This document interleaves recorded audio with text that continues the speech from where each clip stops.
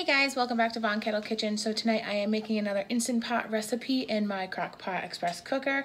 And I'm going to be making, blah, blah, blah, sorry, I'm going to be making barbecue chicken meatloaf with mashed potatoes. So let's get going. But make sure you hit that subscribe button and that little bell to make sure that you are notified each time I post a video, whether it is shopping or cooking. And make sure you give us a big thumbs up if you like this recipe. Now let's get started. So as many of you know, I have a very small kitchen, hence why everything's on my stove. So when I make a meatloaf, I never put the meat in first because I don't like to overmix it.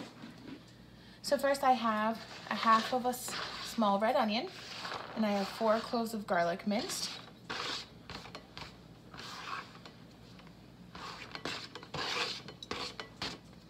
Right. Do a couple teaspoons of Worcestershire sauce.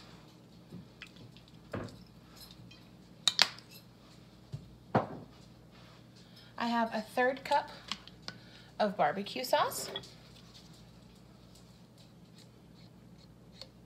I'm gonna keep this little contraption. Well, I don't need to. We're gonna do another third on top of the meatloaf when we're done. We're gonna do a couple teaspoons of just dried parsley. Two teaspoons of salt and about a teaspoon of black pepper.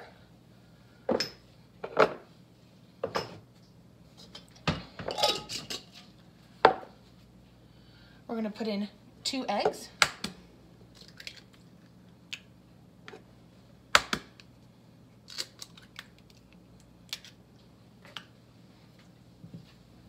Wipe my fingers. Put in one cup of breadcrumbs. These are just homemade breadcrumbs, that's why it's in a, a jar. You can definitely use Italian seasoned breadcrumbs, anything like that. So I always give this mixture a mix.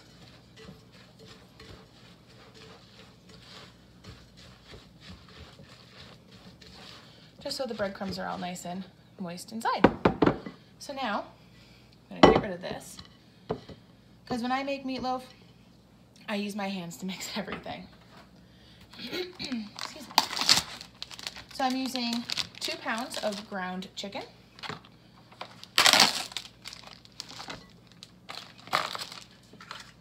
in there for now. And now we are just going to give this a mix. So if you have a Bundt pan, you can definitely put this in the Bundt pan. And just when you're doing this, make sure you're folding in to make everything incorporated. You can use a Bundt pan. You can use the, um, oh, I'm drawing a blank. You know, the pan that you use, a springform pan, like you would for a cheesecake.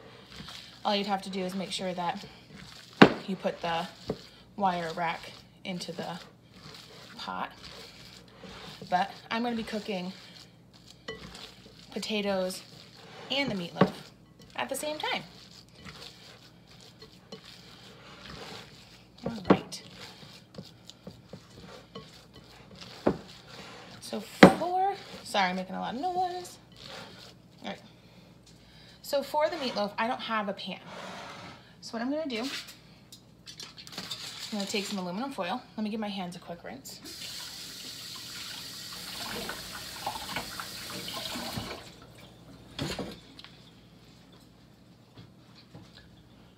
I'm gonna spray the foil.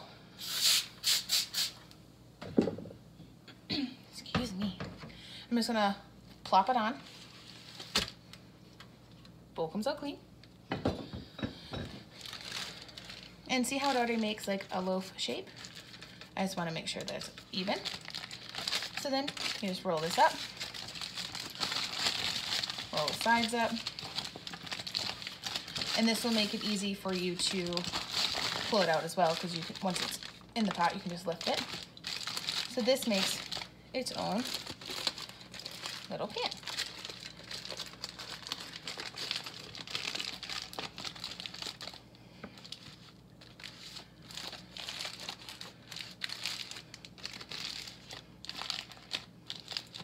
There. So now we're going to set this aside. Bring it over the pot. So now we're gonna work on the potatoes themselves. For the potatoes, I had cut them up previously so you didn't have to watch me cut potatoes. And I just let them sit in cold water so they didn't turn colors. So three pounds of just cubed up potatoes. Take the wire rack, set that on top of the potatoes.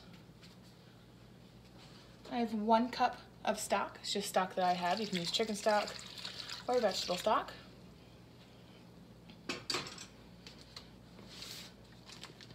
And we're gonna pop this guy right inside.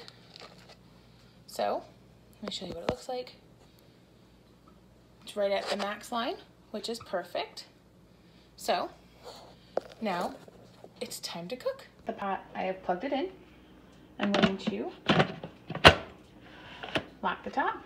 Make sure that the valve is closed. I am going to hit beans and chili and I want it for 25 minutes, high pressure. If you have an Instant Pot, you can do manual pressure at high for 25. So let's get this started. Cook away. This has just beeped, so I'm going to do a quick release. And once this is complete, I'm going to take the meatloaf out and put it on a sheet pan, drizzle it with some barbecue sauce, and pop it into the oven for three minutes for broil to make a nice sticky top. So all the steam has escaped. As I always say, open it away from you.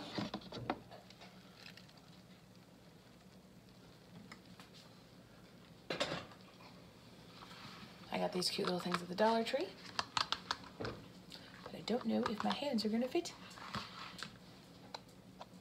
Yeah, I'm gonna have to use those. And just bring this a little closer to me. So I have the sheet pan ready.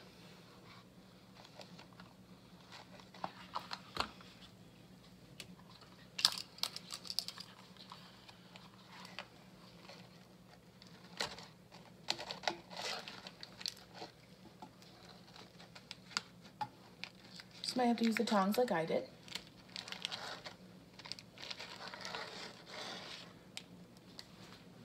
All right.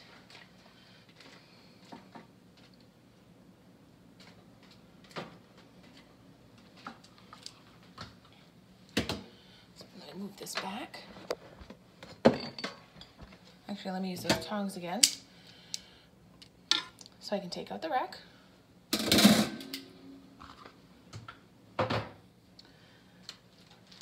So now I'm just gonna drizzle this with some barbecue sauce and pop it into the oven under the broil for high. And then we'll work on the mashed potatoes. And this helps ensure like a nice crusty top like you would get at a normal baked meatloaf.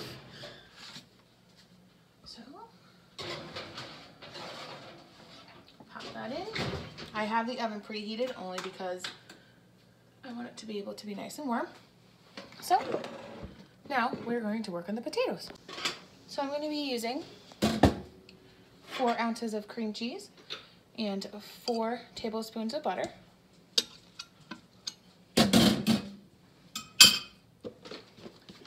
I have some leftover heavy whipping cream, which is just a heavy cream. That was about a half a cup. Nice fat pinch of black pepper. A couple good pinches of salt. Remember, potatoes are just a base. I picked up a plastic potato masher just because this is um, like a Teflon coating type of thing. Non-stick, that's the word I was looking for. So I don't want to scratch it.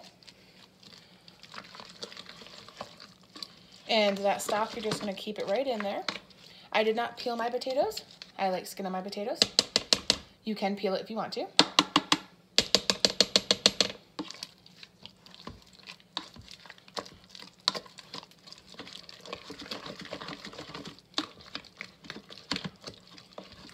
With the Instant Pot, I know that they have the stainless steel pan, so you can definitely use metal. Or if you have like an immersion blender, you can do that. So it looks pretty good. But I want to give it a taste.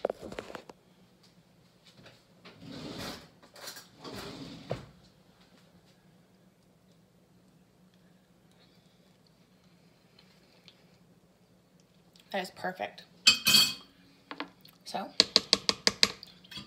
scrape off this.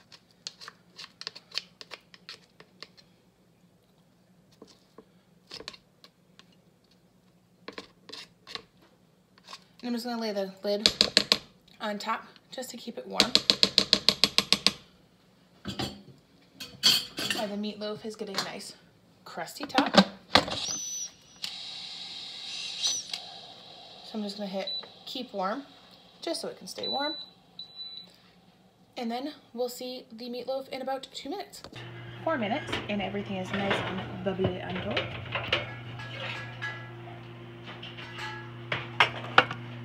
So there we have it. Barbecue chicken meatloaf from an Instant Pot.